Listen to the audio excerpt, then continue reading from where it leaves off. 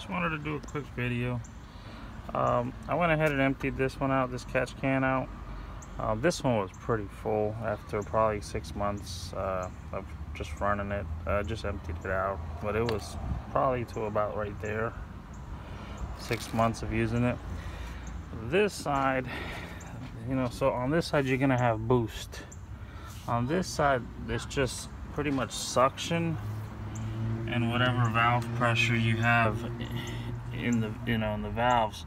So six months of use on this one and there was really nothing in there. So there was not a whole lot in there. I had that little bit so this one it's still working it's doing what it's supposed to but you know I just not a whole lot getting in there.